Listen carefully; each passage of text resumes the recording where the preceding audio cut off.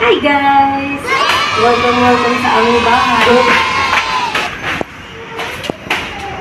So guys, ito yung aming floor. Ayan. So dito sa aming floor, meron kaming isang cabinet. Ayan, yung cabinet na nilalagyan na ng sapatos. Extra security. to safeguard little, little, little. Pagpasok guys ng bahay, unang-una nyo makikita itong console table, mirror, and wall frame. Yung wall na naka-frame, that's my idea. The rest is my husband's idea. So yan guys, nagpalagay kami ng ano, parang lalagyan na ng TV. Yan. Tapos, yung aming sofa, dati na yan. Nabili na namin yan last year pa. Tapos ito, pinadagdag din namin yan para maraming lalagyanan ng mga anik-anik ni Aaron. Kasi kung saan saan siya nagpapadpad before. So, Tapos guys, my husband will tell you about this one. Actually, nasabi niya na yan. Kenya. Okay, this is India. These two, Cameroon. This one, that one, Nigeria. These two, Kenya. This one, Ghana. This one, Andaman Nicobar Islands of India, man. And that too, two monkeys. And this one, Of course, our very own. Philippines. This one, uh, Greece, the Pantheon. This one, Bulgaria, if you can see, the Alexander Nevsky Cathedral. This one from Dubai, uh, you all know what that is. And this is Angkor Wat from Cambodia.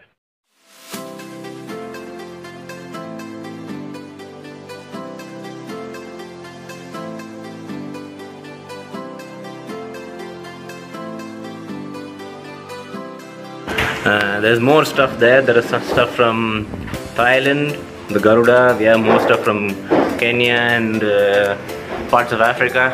That's there. All made of stone and wood. China. This is all China. You can see the dragons and the Chinese women. And you can see this. Okay, on the left hand side here is Arabia. The bell is Hong Kong. Uh, the middle is uh, Turkey and uh, Middle East. And there it is Bulgaria and Greece. So yun guys, sa likod ng sofa, meron pang onting space, maliit na space, which is nilagyan din namin ng sofa. Ayan ang aming altar. So, ayan ang Holy Family. Actually, yung Holy Family, papasok naman yan sa room. So, papalitan namin siya ng Papa Jesus doon. Tapos, ito naman yung salamin dito. Ayan, acid wash yan guys. Hindi siya sticker. So, talagang long lasting. So, yan guys. Sobrang ingay. So, itadab ko na lang. So, ayang sofa na yan guys, is sofa yan ni father-in-law dun sa kanyang office room before. Pero, nasisira lang yung upuan. So, pinarenovate na lang namin. Tapos, ito din, yung pinaayos namin yung kitchen. Merong parang maayos pa na box na naitanggal. So, ipinarenovate namin. Ginawa na lang namin siya na parang ano, drawer. Drawer slash table. Medyo modern lang. So, tas ito naman ang aming balcony. For baby na to go outside the balcony. Kaya may harang kami dyan. Ito guys, of course, sampayan is life. Dahil mami tayo. Tas ito yung aming balcony. Ayan ang aming mga kapitbahay. Ayan sila. Ayan guys, 'di ba nagpapaayos pa kami ng bahay sa taas. So may mga gamit pa diyan na kailangan, importante siya. So hindi namin siya ini-stock doon sa taas kasi may nagagawa baka mamaya may mawala. So yung mga important stuff nandiyan siya. May mga wires diyan. Hello, people. Hello, people. Hello, people. Good. Little monkey. So guys, sobrang ingay kasi may ginagawa sa taas. So idadab ko na lang kung anong pinagsasabi ko dyan. Tapos sabi ko lang, ay ang mga laruan is kay Aditi yan. So, eto guys, payat days namin. Payat pa kami dyan. Both kaming payat. So, bawi na lang kami magpapayat guys pag naka dalawa or tatlong baby na kami. Char. So, ayan guys, ano naman yan, uh, battery para sa internet, sa kuryente. Tapos ito, ayan ang aming dining. Maliit lang ang aming lamesa. Four-seater lang. Kasi maliit lang naman kami na family. Tapos ayan, naglagay kami ng onting halaman dyan sa gilid. Tapos ito yung aming hugasan ng kamay. So anyways guys, ang ingay talaga. So dadab ko na talaga to. Nga pala, pansin nyo, nag-iiba-iba yung damit namin. Kasi, two times ako nag-house tour. Yung unang house tour, si Mister, patay bukas ang ang pagbe-video. So, minsan, hindi nare-record yung mga part na pinagsasabi ko. So, yun. Kaya, ayan. Niretake namin. Supportive naman siya pagdating sa ganyan. Kaso lang, may meeting siya. So, nagmamadali siya. Ibinigay na sa akin yung cellphone. Ako na ang nag-video niyan. Yan, yung hawak ko na yung cellphone, nilipat niya sa akin. So, yan guys, punta na tayo sa, ayan yung itsura niya, pag malayuan. Diba? Effort si mister. So, ngayon guys, punta tayo sa kitchen. Kahit nakita nyo na yung kitchen kasi tinur ko na yan. So, pasukin pa rin natin siya. Ito yung aming kitchen na pinapasok ng unggoy. Pero actually recently hindi na siya pinapasok ng unggoy. Walang unggoy. Pero minsan pag natutulog, ang ginagawa ko, sinasara ko na lang yung bintana kasi maaga nagigising yung unggoy, 'di ba? Pero ilang weeks na sila hindi pumupunta. So baka nasa ibang bahay sila. 'Di ba? So ayan. Kaya hindi na kami nakabili pa ng cabinet dun sa dining. Kasi nga ang daming cabinet dito talaga guys. Tapos wala pang mga laman. Ba parang unnecessary gastos. Pag bumili ka naman ng cabinet parang more on display lang siya. Hindi yun talagang purpose na lalagyan mo ng mga ano. Wala din naman kami kasing mala, maraming plato yung magagandang plato. Wala din naman. Kasi nag-uumpisa pa lang kami. Sabi ko kay Aaron pag nakaipon na kami ng mga platong ganun yung magaganda maybe baka gusto gustuhin namin bumili. Pero as of now, wala pa kaming need. So, ayan. After nyan, guys, diretso na tayo sa restroom. Ito yung guest restroom. Ito yan. White design. Ah, ako nag-decide dyan. Ako nagpili ng tiles white. Medyo modern. Hindi nga siya akma-akma medyo sa bahay. Kasi yung bahay, medyo brownish, ano. Tapos yan kami white. White ang restroom modern, tas black yung sahig. ba diba? Kahit walang naliligo dyan guys, pinalagyan pa rin namin ng heater. Ayan ngayon nagpapangit eh, yung hose ng heater. Pero okay lang yan, at least ba diba, may heater ka sa taglamig. Kasi ito, dito ang aking laundry area. Nasa daanan ng aking laundry area. Pero ang laki naman ng space niya, tsaka ano, diretso, laba lang naman yan, tuyo na yan. Unti lang yung mga hinahandwash ko guys. Diyan na ako sa restroom nag-handwash. If ever may kailangan ako i-handwash. Tapos ayun yung planchahan. ba diba? Sabon lang, ano, washing machine, tuyo na paglabas. Di naman tuyo, pero medyo na-dryer na siya. Papaarawan mo na lang. Pero meron din ako hinahandwash guys ah, mga pang-alis. Ito naman, baby room. Kung saan nakalagay ang tent, in the future, magpapalagay kami dyan ng table para kay Aditi. Sa ngayon, baby-baby pa siya. So, laro-laro muna siya. Tsaka maliit muna yung kama niya. Pero maganda yung kama ni, kam, ano, kwarto ni Aditi. Parang saktong-sakto para sa kanya. Actually, mga rooms, guys, simple lang. Ang pinaka, parang bongga lang talaga is yung living area. Tsaka yung kitchen. Yung sa space, ah when it comes sa space. Kasi, eto, hindi naman ganun kalakihan yung space. Pero, nandiyan na yung need mo. Meron na siyang cabinet, meron na siyang lahat. ba diba? Dinagdagan na lang ng kama.